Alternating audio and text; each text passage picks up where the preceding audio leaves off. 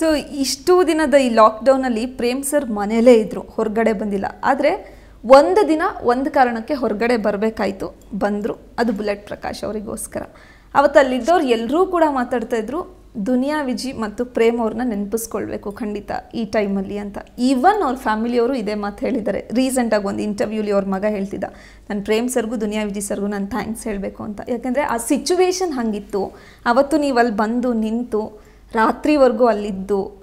So ಅವ್ರ ಮನೆಯವ್ರಿಗೊಂದು ಧೈರ್ಯ ಇತ್ತು ಎಲ್ಲೋ ಒಂದು ಕಡೆ, ಓ ನಮ್ಮ ಜೊತೆ ಯಾರೋ ಇದ್ದಾರಪ್ಪ ಅಂತ. ಸೊ ಆ ಸಿಚುವೇಶನ್ ಹೆಂಗೆ ಹ್ಯಾಂಡ್ಲ್ ಮಾಡಿದ್ರಿ ಅಂತ ಸೀರಿಯಸ್ ಆಗಿ ಯಾರೂ ಬರಂಗಿರಲಿಲ್ಲ, ನೋಡಂಗಿರಲಿಲ್ಲ. ಲಾಕ್ಡೌನ್ ಆಗಿತ್ತು ಯಾರನ್ನೂ ಒಳಗೆ ಬಿಡ್ತಿರ್ಲಿಲ್ಲ, ಹೊರಗೆ ಬಿಡ್ತಿರ್ಲಿಲ್ಲ. ಇನ್ನೂ ಮಕ್ಕಳು ಜವಾಬ್ದಾರಿ ತೊಗೊಳ್ಳೋವಂಥವ್ರಲ್ಲ, ಇನ್ನೂ ಚಿಕ್ಕ ಮಕ್ಕಳು ನೀವು ದುನಿಯಾ ವಿಜಿ ಸರ್ ಇಬ್ಬರೇ ನಿಂತು ಎಲ್ಲವನ್ನ ನಡೆಸ್ಕೊಟ್ರಿ. ಸದು ನೀವು ಹೇಳಿದಾಗ ನಾನು ಯೋಚನೆ ಮಾಡಿದೆ, ಇದು ಹೊರಗಡೆ ಹೋಗುವಂಥ ಪರಿಸ್ಥಿತಿನ ಅಥವಾ ಹೋಗಬಾರ್ದಾ? ಏನಂತ ಯೋಚನೆ ಮಾಡಿದಾಗ ನನಗೆ ಫಸ್ಟ್ ನನ್ನ ಕಣ್ಣಿಗೆ ಬಂದಿದ್ದು ಲಕ್ಷಾಂತರ ಜನ ಡಾಕ್ಟ್ರುಗಳು, ಲಕ್ಷಾಂತರ ಜನ ಪೊಲೀಸವರು ಲಕ್ಷಾಂತರ ಜನ ಸ್ಟಾಫ್ ನರ್ಸಸ್ಸು ಮತ್ತು ಹಾಸ್ಪಿಟ್ಲಲ್ಲಿ ಕ್ಲೀನ್ ಮಾಡೋರು. ಇವರೆಲ್ಲ ಇವರು ಮನುಷ್ಯರಲ್ವಾ ನಾವೇನೋ ಹೊರಗಡೆ ಇದ್ದೀವಿ ಸೆಲೆಬ್ರಿಟೀಸು ನಾವು ಕಾಮನ್ ಪೀಪಲ್ ಅನ್ನೋ ಕಾರಣಕ್ಕೆ ನಾವು ಹೊರಗಡೆ, ಒಳಗಡೆ ಇದ್ದೀವಿ. ಬಟ್ ಹೊರಗಡೆ ಎಷ್ಟೊಂದು ಕೋಟ್ಯಾಂತರ ಜನ ಕೆಲಸ ಮಾಡ್ತಾ ಇದ್ದಾರಲ್ಲ ನಮ್ಮ ಆರೋಗ್ಯಕ್ಕೋಸ್ಕರ. ಸೊ ಹಾಗಾಗಿ ನಾನು ಹೋಗ್ತಾ ಇರೋ ಉದ್ದೇಶ ಏನು? ರೀಸನ್ ಏನು? ಏನಕ್ಕೋಸ್ಕರ ಹೋಗ್ತಾ ಇದ್ದೀನಿ? ನಾನು ಸುಮ್ಮನೆ ಏನೋ ತಿರುಗಾಡೋದಕ್ಕೆ ಹೋಗ್ತಾ ಇಲ್ಲ.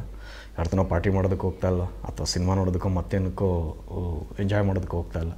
ನಾನು ಹೋಗ್ಬೇಕಂದ್ರೆ ಬುಲೆಟ್ ನನ್ನ ಆತ್ಮೀಯ ಗೆಳೆಯ. ಅವನು ನನಗೆ ಅವತ್ತು ಒಂದೇ ದಿನ ಅವನ ಮುಖ ನೋಡೋಂಥ ಅದೃಷ್ಟ ಸಿಗೋದು ಮತ್ತು ನನಗೆ ಸಿಗಲ್ಲ, ಯಾವ ಜನ್ಮದಲ್ಲೂ ಸಿಗಲ್ಲ. ಸೊ ಹಾಗಂದಾಗ ಏನಾದರೂ ಇರಲಿ, ನಾನು ಹೋಗಲೇಬೇಕು ಅವ್ರ ಫ್ಯಾಮಿಲಿ ಜೊತೆಲಿ ನಿಂತ್ಕೊಳ್ಳೇಬೇಕು ಅಂತ ನನಗೆ ತುಂಬ ಅನ್ನಿಸ್ತು ಸೊ ಇಮಿಡಿಯೇಟಾಗಿ ನಾನು ಬುಲೆಟ್ ಮಗ ರಕ್ಷಕಕ್ಕೆ ಫೋನ್ ಮಾಡಿ ಸೊ ನಾನು ಹಾಸ್ಪಿಟ್ಲಿಗೆ ಹೋದೆ. ಆವತ್ತು ನೀವು ನಂಬ್ತಿರೋ ಇಲ್ಲೋ? ಅಂದರೆ ಇದು ಎಕ್ಸಾಜುರೇಷನ್ ಅಂತ ನಾನು ಹೇಳ್ಕೊಳ್ಳೋದಲ್ಲ. ನಾನು ವಿಜಯ್ ಹೋಗಿ ಅವ್ರ ಫ್ಯಾಮಿಲಿ ಜೊತೆಯಲ್ಲಿ ನಿಂತ್ಕೊಂಡಿರಲಿಲ್ಲ ಅಂದರೆ ನಾವು ಅವತ್ತು. ಹಾಸ್ಪಿಟ್ಲಿಂದ ಅವತ್ತು ಬರಬೇಕಾಗಿದ್ದಂಥ ಬುಲೆಟ್ ಪ್ರಕಾಶ್ ಬಹುಶಃ ಇನ್ನೊಂದು ಎರಡು ದಿನ ಲೇಟಾಗಿ ಹೋಗ್ತಾ ಇತ್ತು. ಯಾಕಂದರೆ ಅಷ್ಟೊಂದು ಪ್ರೊಸೀಜರ್ ಇತ್ತು ಅಲ್ಲಿ ಸೊ, ಅಂದರೆ ಕೆಲವೊಂದು ನಾನು ಹೇಳೋದಕ್ಕಾಗಲ್ಲ. ಸೊ ಅದು ಅವ್ರ ಮನೆಯವ್ರಿಗೆ ಗೊತ್ತು. ಸೊ ನಾನು ವಿಜಿ ಹೋಗಿ ನಿಂತ್ಕೊಂಡಿದ್ದಕ್ಕೆ ಮತ್ತು ಆರ್ ಅಶೋಕ್ ಸರ್ ಬಂದರು, ಮತ್ತು ಶ್ರೀರಾಮ್ಲು ಸರ್ ಅವರು, ತುಂಬ ಕ್ಲೋಸ್ ಫ್ರೆಂಡ್ಸ್ನ ಕಳಿಸ್ಕೊಟ್ರು. ಅಲ್ಲಿ ಬೇರೆ ಬೇರೆ ಮೆಡಿಕಲ್ ಪ್ರೊಸೀಜರ್ ಆಗಬೇಕಾಗಿತ್ತು. ಸೊ ಅದನ್ನೆಲ್ಲ ಮಾಡಿ ಅಲ್ಲಿಂದ ಬುಲೆಟ್ ಪ್ರಕಾಶ್ನ ಮನೆಗೆ ತೊಗೊಂಡೋದಕ್ಕೆ ಆಗ್ತಾ ಇರಲಿಲ್ಲ. ಯಾಕಂದರೆ ನಿಮ್ಗೆ ಗೊತ್ತು ಕ್ವಾರಂಟೈನ್ ಇದೆ ಅಂತ. ಸೊ ಎಲ್ಲ ಕಡೆ ಕ್ವಾರಂಟೈನ್ ಇದೆ, ಅವ್ರ ಮನೆಗೆ ತೊಗೊಂಡೋಯ್ತು ಅಂದರೆ ಜನಗಳು ಸೇರ್ತಾರೆ ಅಲ್ಲಿ. ಸೊ ಅದಕ್ಕೆ ಏನು ಮಾಡೋದು? ಆಮೇಲೆ ಹಾಸ್ಪಿಟ್ಲಲ್ಲೂ ಸಹ ಬ್ಲಡ್ ಪ್ರಕಾಶ್ನ ಇಟ್ಕೊಳ್ಳೋಂಗಿರಲಿಲ್ಲ ಸೊ ಡೆಟ್ ಆದಮೇಲೆ ಒಂದು ಫೋರ್ ಅವರ್ಸ್ ಅಷ್ಟೇ ಅಂತ ಇಟ್ಕೊಳ್ಳೋದು. ಅಲ್ಲಿಂದ M S Ramaiah hospital mortuary ಕಳಿಸ್ಬೇಕಾಗಿತ್ತು. ಇಷ್ಟೆಲ್ಲ ಒಂದು ದುಃಖದಲ್ಲಿರೋ ಫ್ಯಾಮಿಲಿ ಅಷ್ಟೆಲ್ಲ ಹ್ಯಾಂಡಲ್ ಮಾಡೋದಕ್ಕಾಗಲ್ಲ ಆ ಟೈಮಲ್ಲಿ ಅಟ್ಲೀಸ್ಟ್ ಮನೆಯಲ್ಲಿ ತುಂಬ ಯಾರೋ ದೊಡ್ಡವರಿದ್ದಾರೆ. ಫೈನಾನ್ಷಿಯಲಿ ಬ್ಯಾಕ್ಗ್ರೌಂಡ್ ಸಪೋರ್ಟರ್ ಅವರು ಒಂದಷ್ಟು ಜನ ಇದ್ದಾರೆ. ಯಾರೋ ಇದ್ದಾರೆ ಅಂದರೆ ದೇ ಕ್ಯಾನ್ ಹ್ಯಾಂಡಲ್ ಯಾರೂ ಇಲ್ದಿರೋಂಥ ಒಂದು ಕುಟುಂಬ, ಒಂದು ವಯಸ್ಸಿಗೆ ಬಂದಿರೋ ಹುಡುಗ, ಒಂದು ವಯಸ್ಸಿಗೆ ಬಂದಿರೋ ಮಗಳು, ತುಂಬ ಇನ್ನೋಸೆಂಟ್ ಆಗಿರೋ ಹೆಂಡತಿ, ಆಮೇಲೆ ವಯಸ್ಸಾಗಿರೋ ತಾಯಿ ಮನೆಯಲ್ಲಿದ್ದಾರೆ. ಸೊ ಇಷ್ಟು ಜನ ಮಾತ್ರ ಇದ್ದಾಗ ಇಷ್ಟು ಪ್ರೊಸೀಜರ್ ಮಾಡೋದು ತುಂಬ ಕಷ್ಟ. ಅವರು ಇಲ್ಲಿ ಅವ್ರನ್ನ ತೀರೋದಂಥ ದುಃಖನ ಇದು ಮಾಡ್ತಾರೆ?